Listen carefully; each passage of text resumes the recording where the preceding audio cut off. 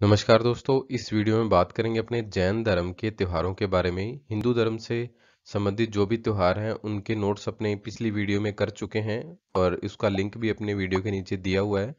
तो चलिए जैन धर्म के जो त्योहार हैं, वो देखते हैं। सबसे पहला त्योहार है इनका ऋषभ देव जयंती, जो क्या है चैत्र कृष्ण नवमी के दिन मनाई जाती है। चैत्र कृष्ण नवमी के दिन ही यहाँ इनका जो प्रमुख मेला है, वो दुलेवा, उदयपुर में आयोजित किया जाता है। उसके बाद दूसरा इनका जो मुख्य त्योहार है, महावीर जयंती है, वो चैत्र शुक्ल त्रयोदशी के दिन मनाई जाती है। रोट तीज भाद्रपद शुक्ल तृतीया के दिन मनाई जाती है जैन धर्म के द्वारा। उसके बाद सुगंध दशमी या धूप दशमी भाद्रपद शुक्ल दशमी के दिन मनाई जाती है जैन धर्म के द्वारा। अगले इनका जो मुख्य त्योहार है, दस लक्षण पर्व यह जो पर्व है वर्ष में तीन महीने मनाया जाता है। चेतर, भाद्रपद और माघ महीने में शुक्ल पंचमी से चतुर्दशी तक यह जो त्योहार है, मनाया जाता है। परंतु जो भाद्रपद का त्योहार है, वो क्या है?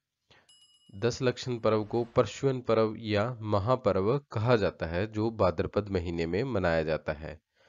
परशुन पर्व जो इनके दो संप्रदाय हैं, दिगंबर और श्वेतांबर, दोनों के द्वारा अलग अलग मनाया जाता है।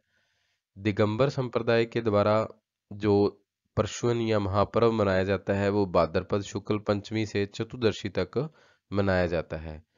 और यह आश्विन कृष्ण एकम के दिन इसमें क्या है, इस त्योहार को पड़वा ढोक यानी कि क्षमा याचना पर्व मनाया जाता है।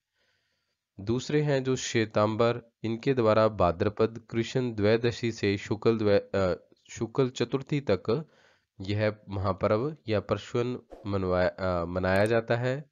और भाद्रपद, शुक्ल पंचमी को यह क्या है? संवत्सरी पर्व मनाते हैं, यानी कि क्षमा याचना पर्व मनाते हैं।